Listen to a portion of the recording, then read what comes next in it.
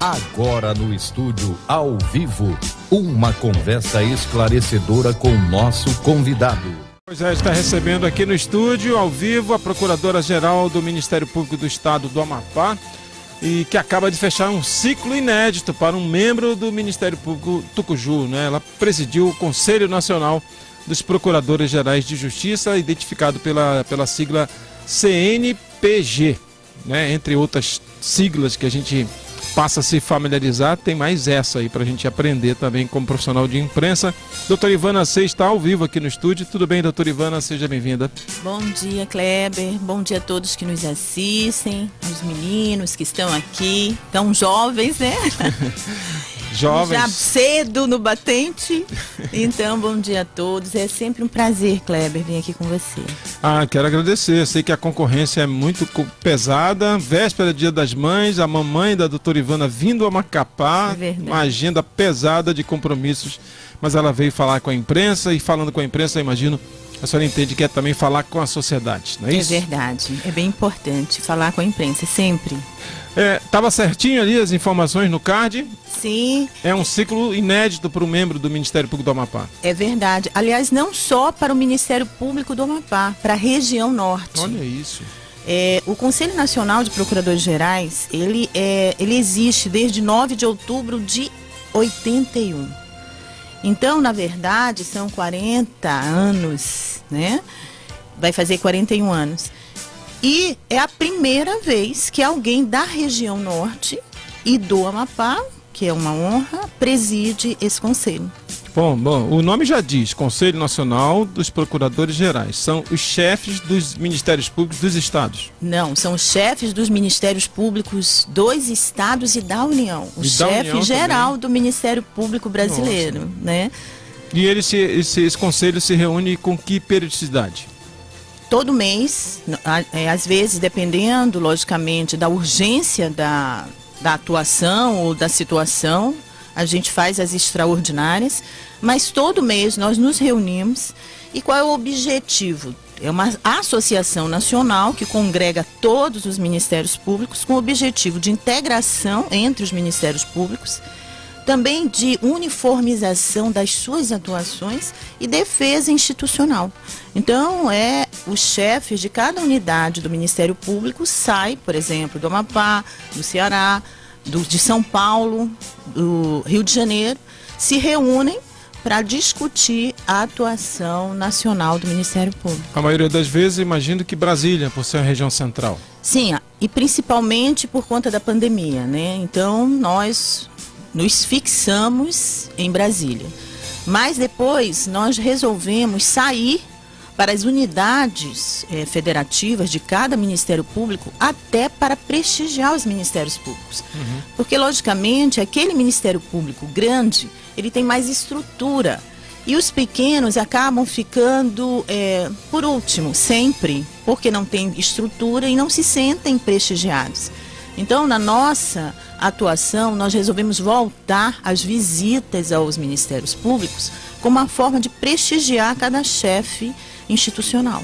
Bom, a senhora falou que o conselho surge em 1981, mas o, com o ano de 1988, com a promulgação da nossa atual Constituição, a chamada Constituição Cidadã, ela passou a ser emblemática para o Ministério Público. 88, por quê, doutor Ivano? Porque ela mudou a feição do Ministério Público, né? O Ministério Público passou a ser mais independente, aliás, passou a ser realmente independente, passou a ser visto como é, uma unidade institucional de defesa social, que ele já fazia na prática, mas, na verdade, formalmente, ele não estava reconhecido como um defensor legítimo da sociedade. E com a Constituição de 88, isso ampliou e formalizou as suas atuações, né? Lilian. Bom dia, Lilian. Microfone da Lilian. Bom dia, doutora. Bom dia. E, e como surgiu esse convite para presidir o, o, conselho do Ministério Público? Como foi essa experiência uhum. para você? Acredito que é, extremamente deve ter ficado extremamente honrada e foi um como, como, como posso usar a palavra, um desafio, né? Exatamente. Como é que surgiu? Na verdade, é meu quarto mandato, Uhum. né?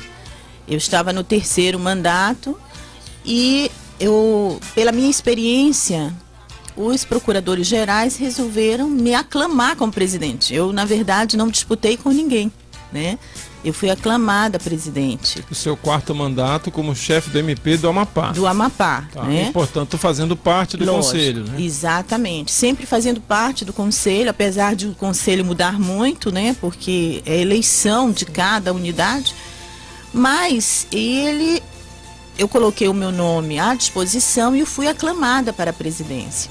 Não foi fácil, porque foi um momento pandêmico, né? E a gente precisava, logicamente, de superar alguns desafios, como Manaus, o que aconteceu, todo mundo sabe. E houve uma manifestação, uma unidade institucional em defesa daquela situação que ocorreu em Manaus, né? E como a compra de eh, oxigênio, etc. e tal. Então, o que que acontece? Não é uma situação fácil, porque quando é a defesa institucional, a gente tem que, toda vez que se reúne o Congresso para discutir uma PEC que envolve a instituição Ministério Público, o Conselho tem que estar presente, tem que participar das audiências públicas e tem que fazer aquela caminhada homem a homem com os senadores, com os deputados. E nesse sentido, eu preciso agradecer aos senadores do Amapá, eles foram importantíssimos nessa caminhada. Eles nos deram apoio, todos os três, assim como a bancada federal. Aqui chegando várias mensagens aqui pra gente, também na nossa live. O doutor Arthur, cadê meu daqui? Cadê o Arthur Aroeira? Vai falar com a gente daqui a pouquinho. Ele integra um seleto grupo de juristas aí que vai ajudar na- no processo de reforma aí do, do judiciário, né? Daqui a pouquinho, então ele teve um pequeno contratempo aqui, mas vai falar com a gente já já. Ah, cadê, cadê, cadê, cadê?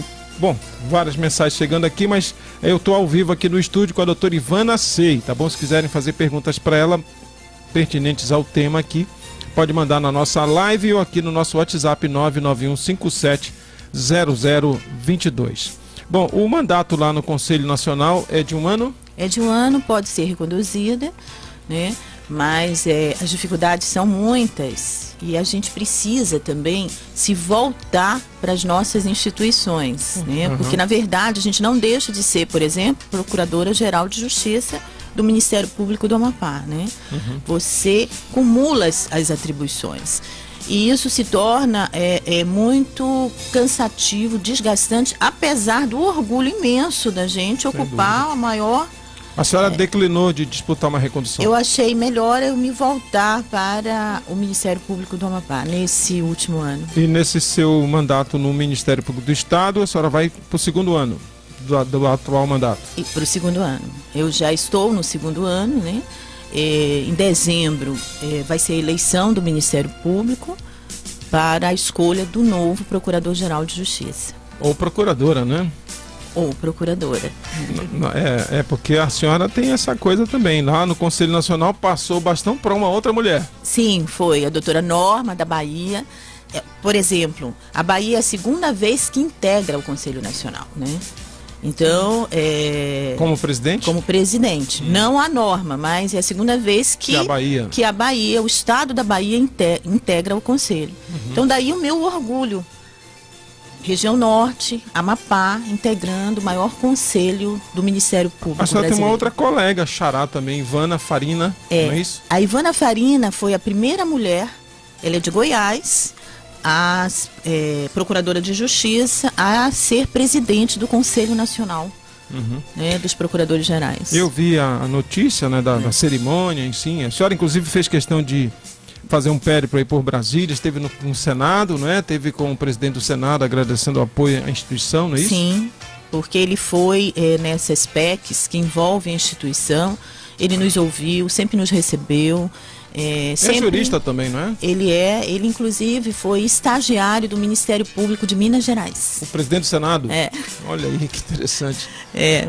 Então ele tem, ele é advogado, ele entende o que é o Ministério Público, ele tem essa aproximação, ele trabalhou como estagiário, então isso é muito importante, é, é, esse conhecimento sobre realmente o que faz a instituição. Galgou, né? Cresceu ali dentro da instituição, é. conheceu todos os cenários e se preparou.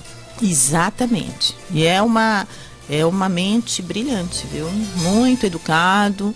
Então aqui meus agradecimentos novamente ao senador Pacheco. Muito bem, muito bem. Bom, e, e Marfan Martins, né? Também eu estava lendo no, a, a, uhum. resenha da sua agenda e vi que Marfan, Marfan Martins ainda está aí ajudando o Ministério Público Brasileiro. Ele é do, do Rio de Janeiro, né? Ele é do Rio de Janeiro, foi procurador-geral várias vezes várias de justiça, vezes, né? né? E também presidente da Associação do Ministério Público do Rio de Janeiro, várias vezes. Hoje ele, ele comanda, ele coordena é, um grupo de acompanhamento legislativo. Porque o Marfan, a gente costuma brincar com ele, que ele é o monstro do Ministério Público brasileiro, né? Porque pela sua força, uhum. influência, ele é um homem muito influente em termos jurídicos e é alguém que a gente respeita muito. Sem dúvida alguma. Bom, doutora Ivana, eu lembro de ter ido na sua cerimônia de posse, a sua última vez que foi eleita no, no Ministério Público, eu entrevistando a senhora, eu falava sobre esse desafio. A senhora é oriunda da Promotoria de Justiça do Meio Ambiente, não é isso? É Promotora é de Justiça e Defesa do Meio Ambiente. E aí não cansa de fazer história, né? Promotora de Justiça que chegou ao ápice da carreira, porque uhum. era antes só os, as procuradoras que poderiam concorrer. Hoje a senhora é procuradora de justiça né, do, do, do Colégio de Procuradores. É, hoje né? eu sou procuradora de justiça. E hoje eu queria atualizar a pergunta que eu fiz lá atrás na sua posse, né, de assumir o Ministério Público do Estado mais preservado do país. Porém, a gente precisa, muita gente fala, a gente precisa desamarrar, tá, literalmente, né, soltar as amarras do desenvolvimento. E eu perguntava para a senhora como conciliar o, o, proteção ao meio ambiente com desenvolvimento, né? E agora, o que, que dá para falar sobre passada aí a, a, pandemia, o Amapá retomar? É, é, proibido plantar. Houve um grande, uma cisão, né? O setor produtivo vive uma crise, seja na madeira, seja na, no, no, na agricultura de escala. O que, que dá para fazer, doutora Ivana? Não, é, primeiro a defesa do meio ambiente é minha paixão, né? A promotoria. Eu vim, na verdade, eu iniciei a minha carreira como promotora das varas cíveis, fui para a família, fiquei 12 anos no criminal e auditoria militar e depois vim para a defesa do meio ambiente. É, dá sim, dá para é, compatibilizar o desenvolvimento e a proteção ambiental. É, mas precisa ter vontade para isso e os instrumentos reguladores. O que, que acontece no Amapá? É exatamente a, a, falta, a ausência desses instrumentos reguladores. Por exemplo, agora que a gente está regularizando as terras, é um exemplo. Né? Então, quando você não tem os instrumentos reguladores, em que cada um pensa em fazer o que quer, não dá certo. Se houvesse a regulação normal sobre tudo, era mais fácil, como alguns estados estão fazendo. Hoje, por exemplo, Mato Grosso, ele está desenvolvendo muito bem, compatibilizando a plantação, o agronegócio, a proteção, a preservação. É possível.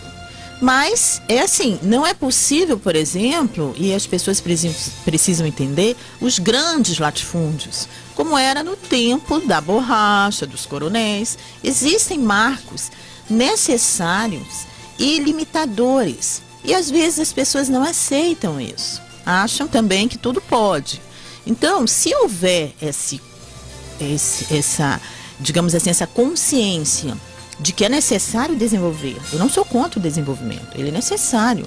Nós não podemos estar fadados, por exemplo, somente à proteção ambiental e a nossa população passando é, necessidade por saneamento, falta de saneamento básico, falta de acessibilidade, isso não é possível. O senador Lucas Barreto até outro dia teve aqui e cunhou a seguinte expressão, e, e pegando carona nessa sua reflexão, o amapaense pode ficar é, como é que chama, meu Deus?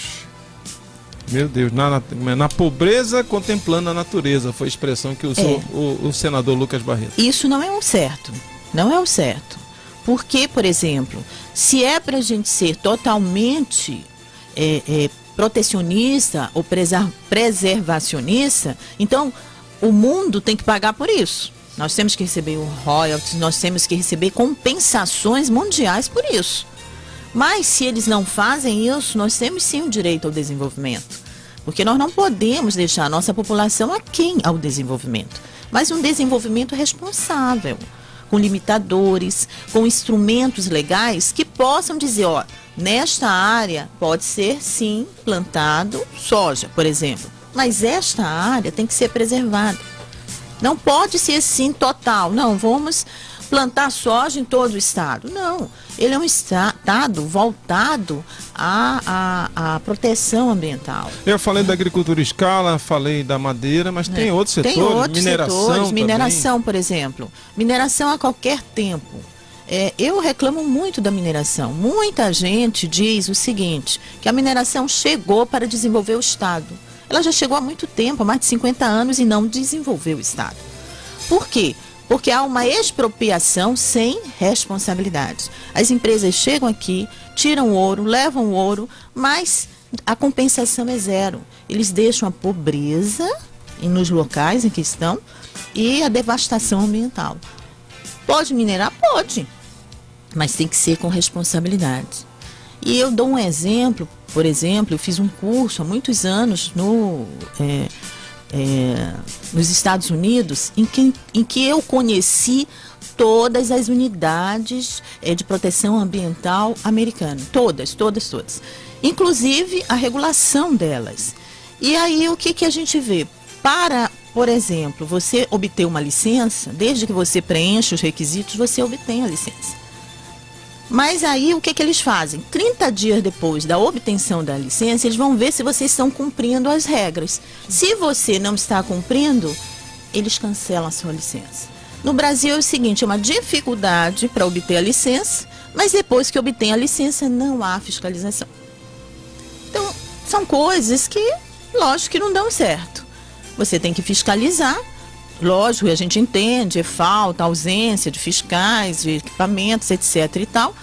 Mas se não houver a, a fiscalização, não vai haver o desenvolvimento, só a degradação.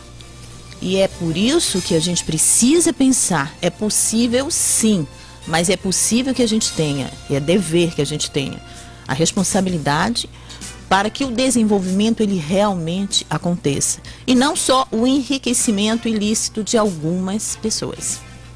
Perfeitamente. É, para fechar e aqui fazendo, que bom que a senhora está é, tá fazendo esse tipo de, de avaliação com a gente, ajudando a sociedade a entender um pouco mais a ótica de, do Ministério Público como órgão de controle. E eu estou aqui fazendo jornalismo, né? Nunca uhum. fiz sensacionalismo com o meu ofício, com o talento que Deus me deu para trabalhar.